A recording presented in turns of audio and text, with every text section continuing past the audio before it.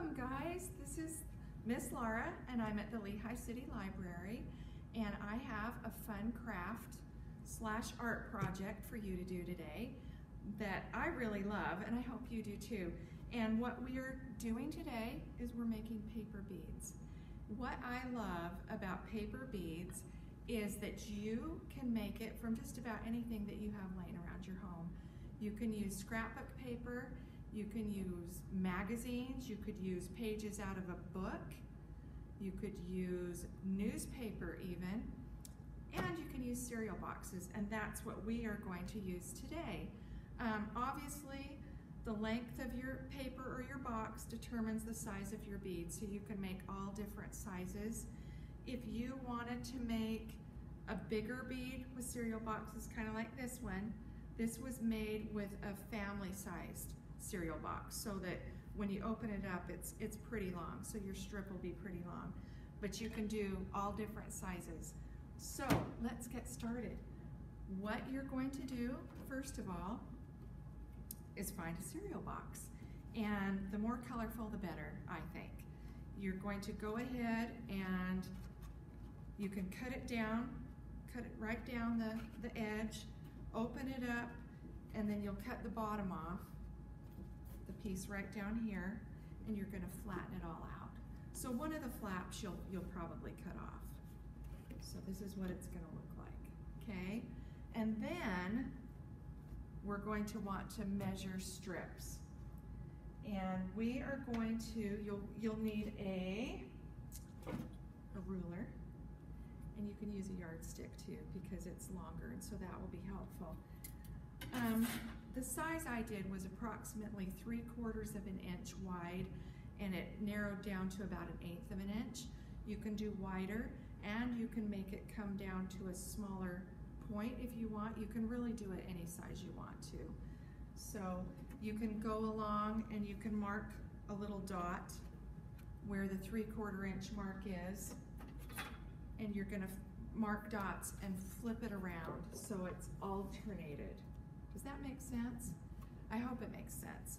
So I'm going to go ahead and take my, my yardstick and I'm going to put it along there and I'm going to draw a line.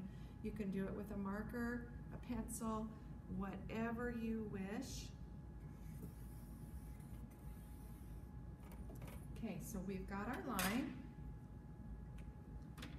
and it's So once you do one, you'll flip it over and you'll do another one. Yeah, and maybe show them that. Like do another do one too. another one. Okay. Let me show you. That way you don't waste the cardboard. So,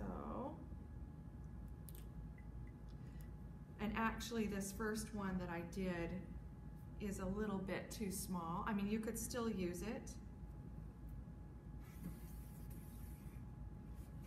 Show you a couple of them. And I'm really not measuring them. So the thing is, whoops, that moved. The thing is, is that it you can do it, you don't have to measure it if you don't want to. You can just kind of freehand it.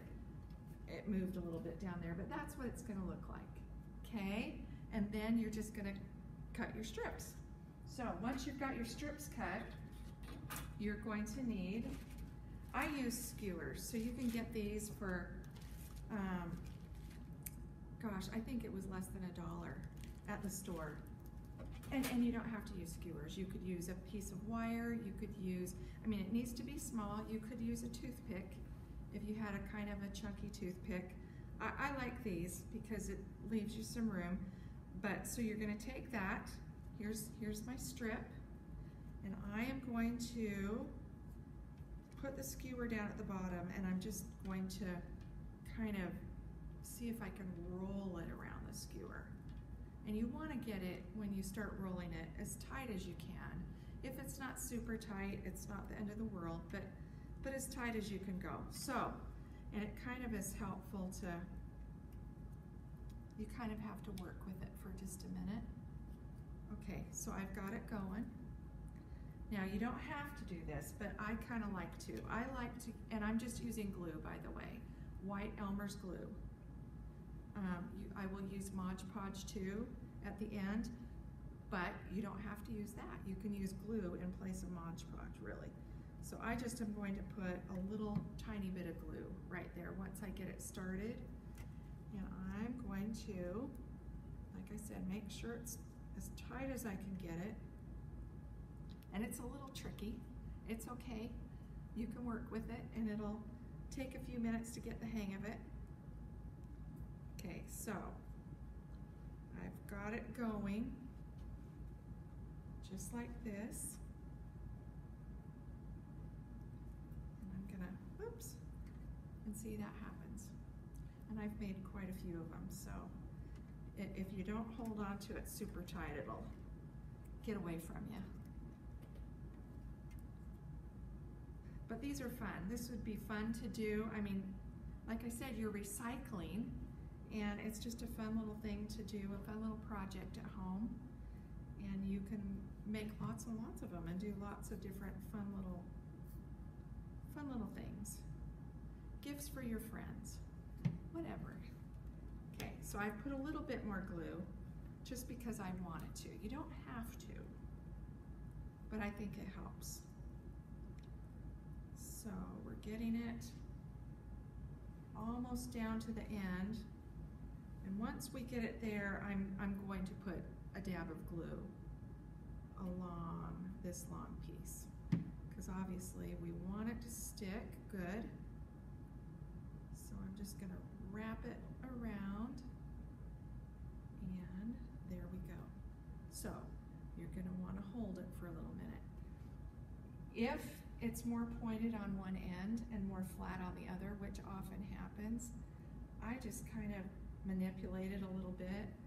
And it's usually gonna be a little bit that way, but you can kind of move it around. So I'm gonna hold it for a minute because you want it to really adhere. Okay, and that's it. That's how you make the bead. And again, if I had done it wider, I've seen them like this wide, and it makes a long bead. And that's really cool. There's just, look it up online. There's some really cool projects that you can do with these beads. Okay, so you need it to, to totally dry. And once it's dried, you're going to, and I, I've put it between um, these styrofoam foam cups so it can, um, when I put the Mod Podge on, it can dry. So we want to put a little bit of Mod Podge on it to seal it and just help it really stick together well. So I'm just going to open it up. And again, if you do not have Mod Podge, you can just water down a little bit of Elmer's glue. I, I think it's really about the same thing. Okay, so here goes. And this will dry clear. And it's gonna be a little messy. So don't be afraid to get your hands gluey, because they will get gluey doing this project. Okay, all right. Can you see that? We've got it, and so it's on this so it can just dry for well without getting stuck to anything. So after, after the Mod Podge has dried, when it's thoroughly dried, you can take um, a can of clear, shiny satin. I'm trying, high gloss, that's the word I'm going for. And you can spray your bead, and you can have several of them on it at a time and spray them and let them dry, and they will be nice and glossy and shiny, and then they will be ready to to do whatever craft you want. Like I said, um, keychain. What I used for this keychain is just some small, very fine, somewhat fine hemp. But you could use whatever you wanted, whatever you've got. So that's the size I used. And the little key rings, you can get them.